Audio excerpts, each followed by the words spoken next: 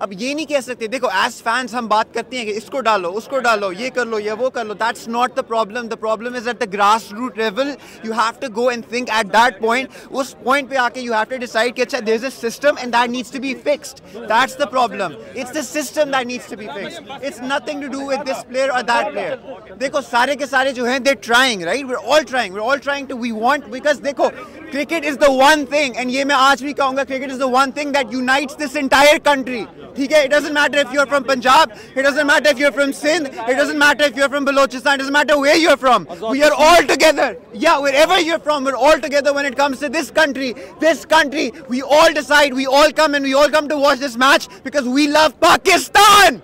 so yes